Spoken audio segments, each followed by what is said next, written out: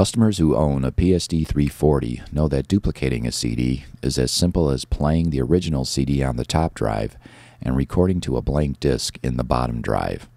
Since the PSD 430 and PSD 450 recorders only have one CD drive, many customers ask how the duplication process works. Well, duplicating a CD with a PSD 400 recorder is just as easy as with the PSD 340.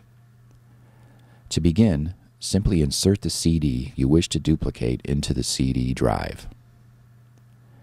The display will automatically show the contents of the disk. Scroll to a track and press the Make CD button. The duplicate option should be highlighted on the display. Simply push the joystick down to select this option. A dialog box will appear instructing you to select OK to rip CD. Move the joystick to the left to select OK, then push the joystick down to enter. This process will copy the audio from the CD to the hard drive when using a PSD 450 or the SD card when using the PSD 430. A status indicator will show the progress of the CD ripping procedure.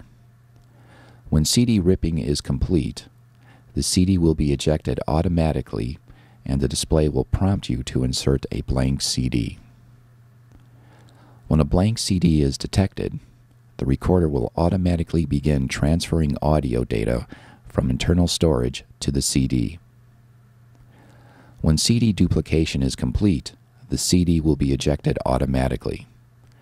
The CD is now ready to be played in a computer drive or standard CD player. If you wish to make another copy of this audio material, simply insert a blank CD into the CD drive. If no further copies are required, press the joystick to cancel.